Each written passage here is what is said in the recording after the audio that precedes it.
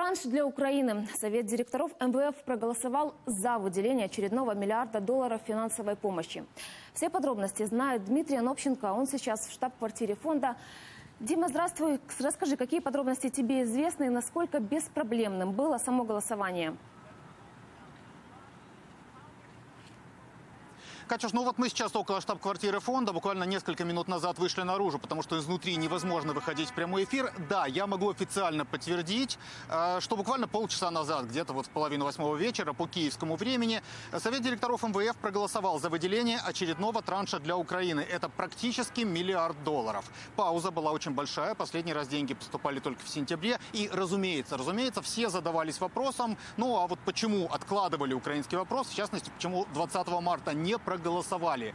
Э, мне ответили на этот вопрос, ответили неофициально, но этой информацией могу поделиться. Э, дело в том, что 20 марта, за два дня до проведения Совета директоров, действительно, украинская тема исчезла с повестки дня. И вот в МВФ сегодня пояснили, что было два момента для этого, две причины. Во-первых, в фонде хотели понять, как повлияет на экономику Украины блокада Донбасса, как это скажется на макроэкономических показателях. Но, во-вторых, э, здесь была информация о возможных санкциях против дочек российских банков. МВФ украинский вопрос отодвинул подвинул, в принципе, редко такое бывает, и запросил пояснения, расчеты, официальные документы у Минфина. Ну и вот сейчас, по всей видимости, эти документы Минфина всех устроили, потому что, еще раз повторюсь, э, принципиальное, важное решение принято, транш разблокирован, и вот этот миллиард долларов для Украины будет выделен. И если все пойдет по плану, то в этом году Украина рассчитывает получить еще 5,5 миллиардов. Катя. Дивно, а что касается требований МВФ к Украине, в частности, по вопросу пенсионной реформы, этот вопрос вообще Совет директоров обсуждал?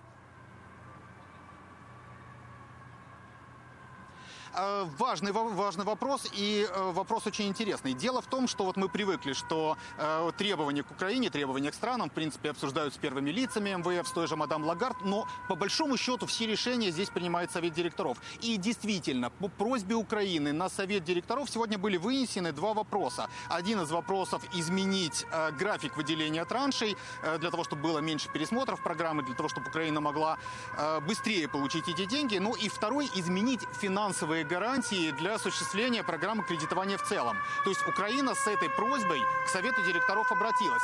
Но в любом случае все проблемные вопросы все-таки вначале решаются тет-а-тет, вот в таком прямом разговоре, и этот разговор будет. 21-23 э, апреля, три дня, вот здесь, в Совете директоров МВФ и рядышком в штаб-квартире Всемирного банка, э, пройдет так называемый весенний саммит. Два раза в год собирается огромное количество финансистов со всего мира, э, в том числе министр финансов большой двадцатки, в том числе представителей всех стран. Так вот, здесь ждут украинскую делегацию, чтобы как раз вот в эти числа 21, 22, 23 и обсудить те проблемные требования, которые по-прежнему есть у МВФ. Э, в частности, требования по пенсионной реформе и по продаже земли.